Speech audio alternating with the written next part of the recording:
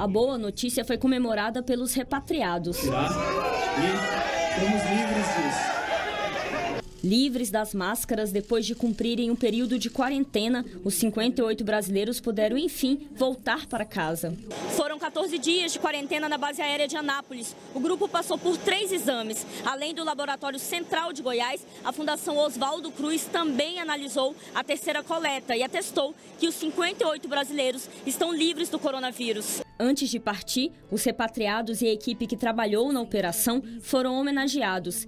Eles se emocionaram na despedida ao lembrar dos dias que passaram na quarentena. Enfim, hoje é um sentimento de muito orgulho pelo resultado da operação muito bem sucedida, pela presteza, rapidez e pelo alívio de nossos brasileiros, os 44 e mais os 24 que participaram da operação, de terem o alívio do resultado definitivo, todos os exames como negativo, e eles embarcando para voltar para suas residências, para os seus lares.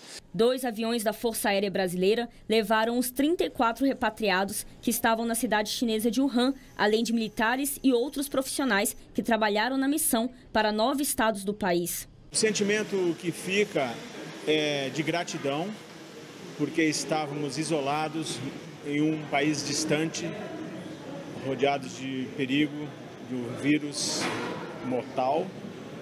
E o Brasil foi lá e nos resgatou. E o sentimento após a quarentena é de alívio, o sentimento de voltar para casa. Um dos profissionais que acompanhou a operação desde o início foi o cinegrafista da TV Brasil, Arley de Andrade. Ele documentou a viagem e o dia a dia na quarentena e conta como foi a experiência. Foi uma experiência ímpar na, na minha carreira profissional e pessoal, né?